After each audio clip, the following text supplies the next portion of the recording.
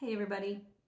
This is just a follow-up on my market report from last week, um, talking about selling your home. One of the questions that I get, because the market is so strong, home values are high, competition is fierce, it's harder for buyers. So if you are selling your property and then thinking of buying another one, the big question that I always get is, you know, well, I'd love to sell my home, but where am I going to go?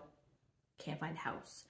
So that's a question. Um, and there's a couple things that we can do about that um, to help ease your mind. You know, um, buyers are being very flexible. So if they really want your property and they want their offer to be accepted, um, they're going to be okay with certain contingencies that you as a seller put on your property. So one of the most common that you've probably seen is that you know, um, when you put a listing out, putting your home on the market, on the bottom of it, it says contingent upon seller finding suitable housing. That just means you're not going to close on that property until you find another house to move into.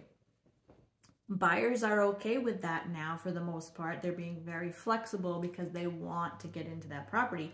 So they're offering those kinds of um, timelines and flexibility.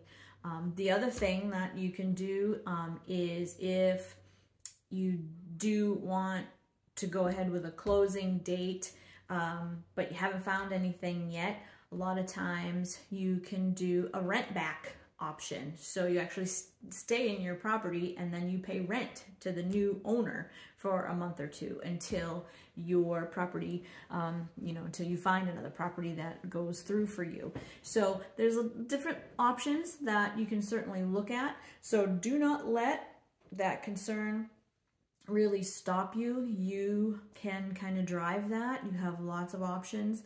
Like I said, homes are in demand and buyers are being really flexible um, and offering some good terms to get your house because they need a place too. So if you guys can work together on these kinds of contingencies, it works out for both parties.